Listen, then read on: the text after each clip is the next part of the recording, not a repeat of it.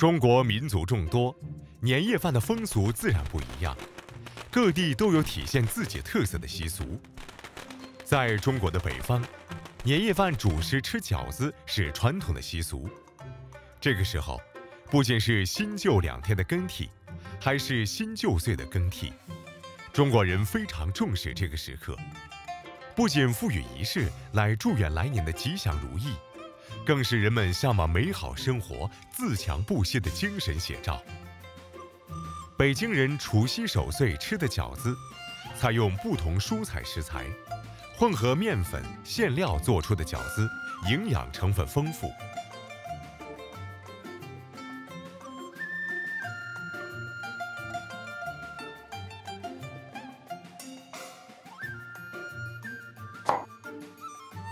菠菜、红菜头。切碎榨成蔬菜汁，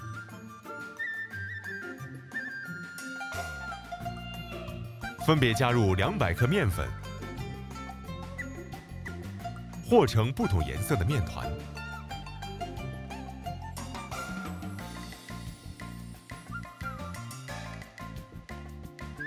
新鲜猪肉切成小粒，香菇切末，白菜切末。加姜末、香油，再放入生抽，淋入葱油，放入白菜末、虾仁，沿同一方向均匀搅拌成粘稠状。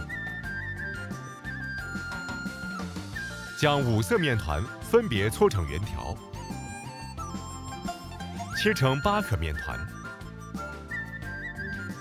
面板撒上干面粉，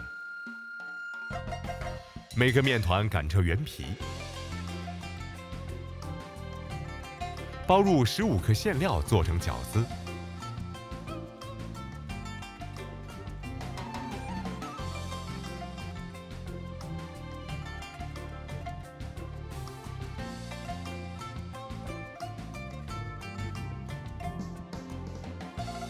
水煮沸。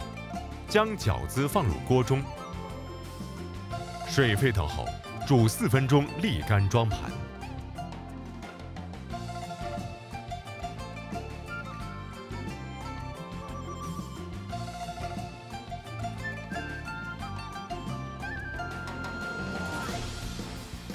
五彩缤纷的饺子，配上清翠碧绿的腊八蒜，以及不同口味的蘸酱汁。